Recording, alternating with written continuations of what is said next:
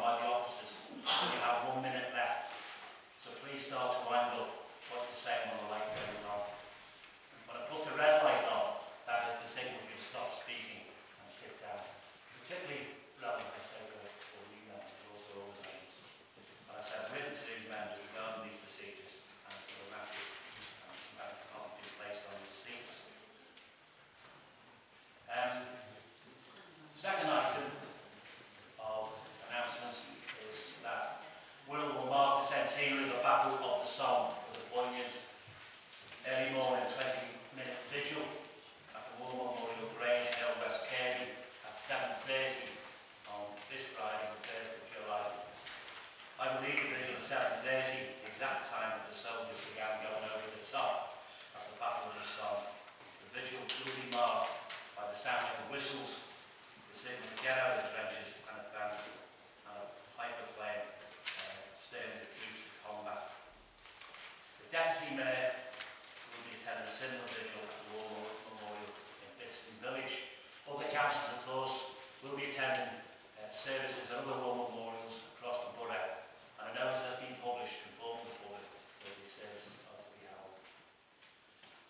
Right, the third item is I would like to take a few moments of Council's time, if I may, to invite the leader of the Council uh, and of each political group to comment upon the recent events of last week